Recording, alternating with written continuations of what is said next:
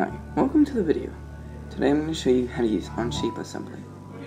First thing you want to do is make your pieces and then put them into the assembly. Do this by clicking insert and clicking the piece you want to put in.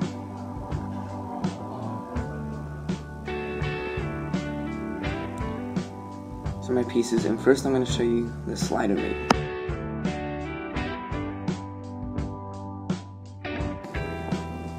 To use any type of mate, what you have to do is wake up the face that you want to select, which is what I'm doing here.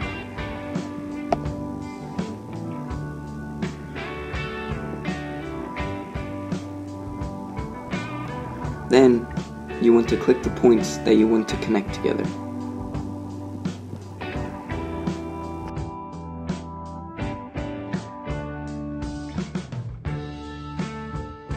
After you do so, the two buttons over on the left help you realign the piece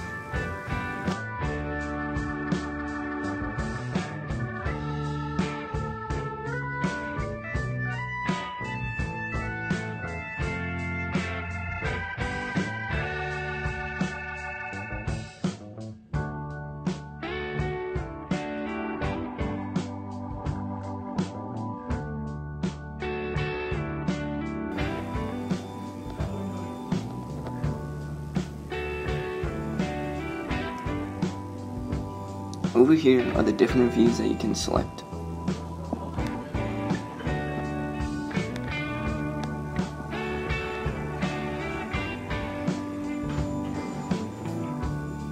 The point of the slider mate is to show you the degrees of freedom, which is what you see here.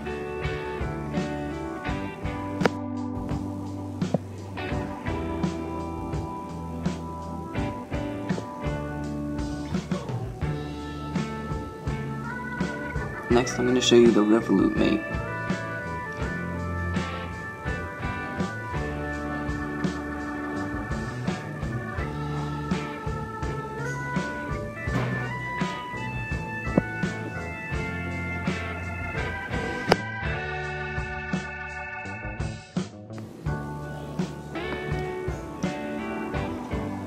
This has the same idea as the other one, where you're just gonna click the points that you want to connect together.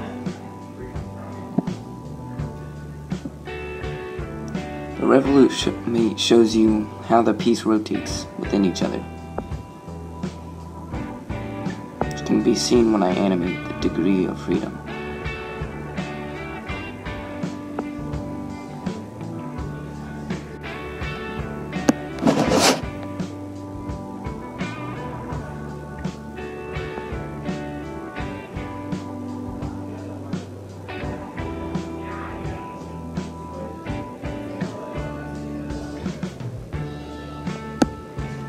Next, I'm going to show you the most simple one of all.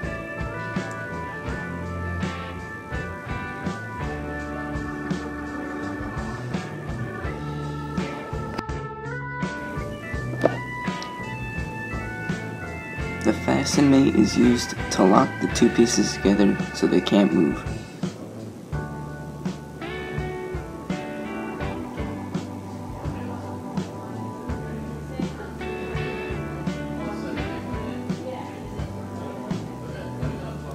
Once you have them together, you may have to reorient them.